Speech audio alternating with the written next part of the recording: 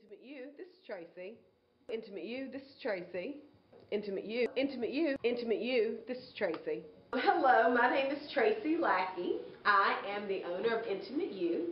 My late husband Rick Lackey and I opened Intimate U almost eight years ago. Lexington, Virginia is a small town, but it's a college town. There are four colleges right here in the immediate area. Immediate area. We thought about it years ago and thought, why isn't there a place to get your bras and panties? Um, there are always weddings uh, going on in this area because it's such a beautiful area. So why isn't there a place to get something special for your wedding night or any night, um, as it may be?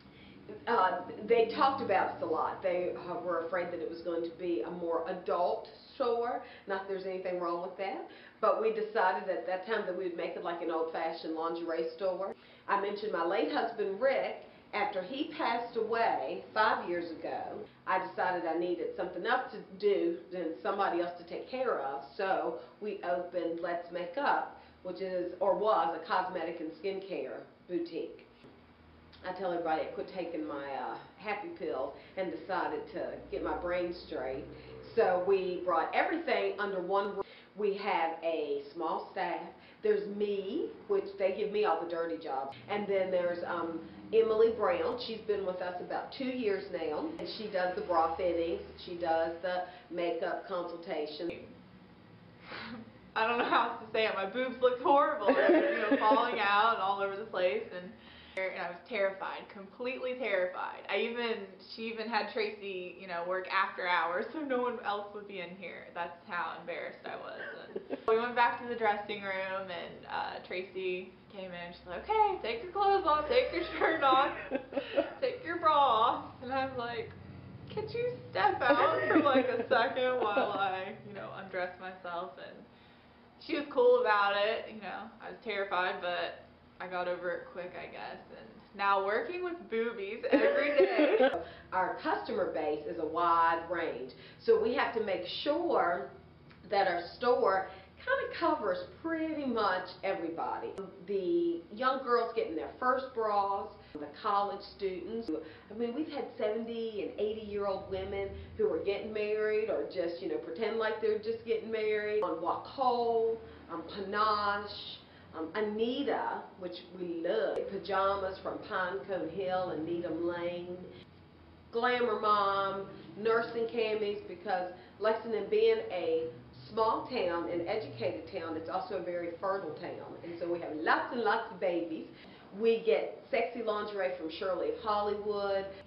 Hanky Pankies. We have Hanky Pankies. The girls no matter what age group. They love the hanky panky. In our cosmetics and skincare, Bare Minerals and Smashbox. We've been very fortunate with the uh, college girls. Sororities have actually come in and made it a shopping night at Intimate U specifically. Oh, we have for Valentine's, um, because everybody doesn't have a Valentine, we um, do uh, Love Your Lips. Tonight we're having a bridal shower hosted right here in the store, which should create a little bit of a fever for everyone in attendance to want to get a little something special. Oh, there are days when I have to hide at my desk and it's not so much to be um, away from our customers, but I literally have to sometimes say to Emily or whoever's working with me that day that pretend like I'm not here.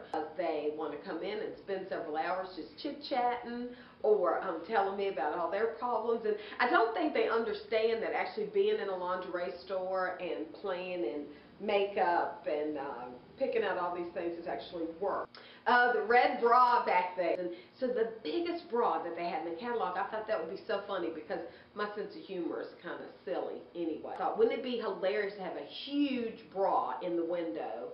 Um, at first I thought about tying it to the front bumper of my car. And if you're going to do a big bra, it has to be red. It's not. I had even envisioned at the beginning putting uh, like chips and dip in the cups because I thought it was funny and um, now, of course, we don't make fun of it because that's really serving the need for some people.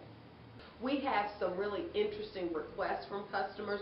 I really want um, a bra here, but I went to uh, a discount store and I'd like to pay the prices that they're asking there, but she wanted the bra here. So I explained to her how offensive that was and to ask her if um, any of the sales representatives there had gone into the fitting room with her and fitted her with the bra like I had.